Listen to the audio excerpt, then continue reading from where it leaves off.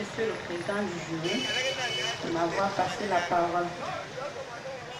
Madame Semba, merci pour votre brillante euh, présentation. Nous allons aller à la page, je crois la page 5, c'était déjà corrigé, vaccin anti-tétanique. Et on va aller à la page 20. La page 20. Vous avez dit au niveau de deuxième paragraphe, résultat du laboratoire, on descend plus haut. Vous dites que j'éduque la mère sur l'hygiène de l'habitat. Donc, c'est-à-dire à 16 heures, vous avez dit